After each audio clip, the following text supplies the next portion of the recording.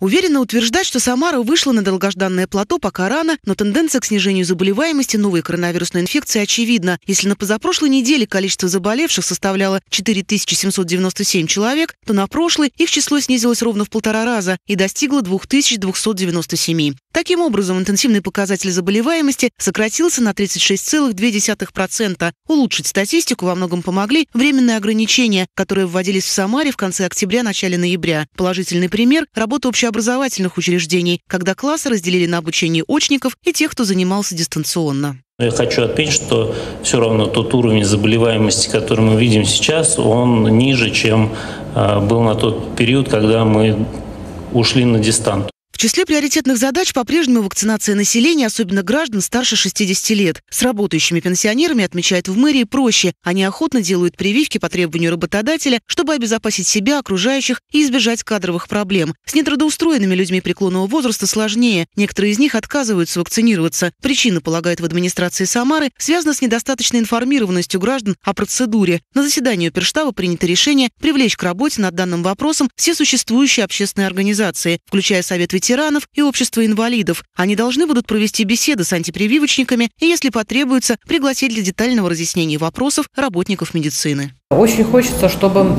наши люди серебряного возраста э, перестали доверять непроверенной информации, а верили врачам, как это делали они всю свою жизнь. А чтобы они э, понимали, что это спасает, что единственная возможность сейчас забыть об этой пандемии, это, конечно, максимальная вакцинация людей, в том числе и в первую очередь людей старше 60 лет.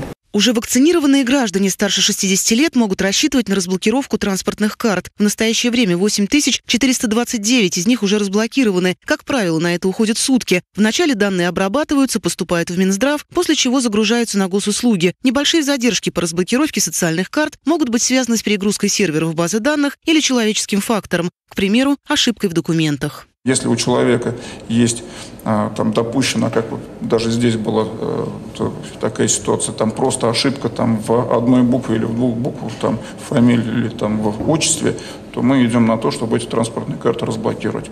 В мэрии напоминают, в Самаре продолжают действовать ограничительные меры в период пандемии коронавирусной инфекции. Рейды проводят на объектах потребительского рынка, социальной сферы, транспорте. Ведут ежедневный контроль за амбулаторными больными. Нарушителям постановления губернатора и требований регионального Роспотребнадзора грозят штрафы. Ольга Павлова, Николай Епифанов. События.